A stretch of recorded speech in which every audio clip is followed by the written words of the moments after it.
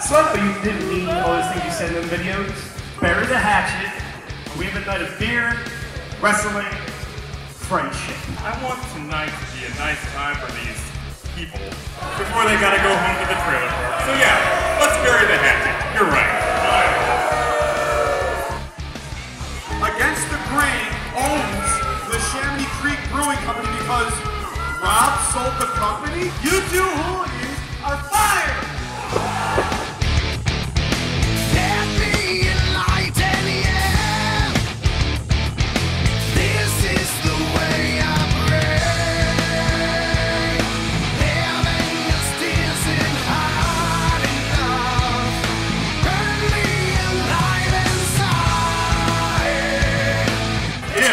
you can pin me here tonight, you can have your little podunk brewery back.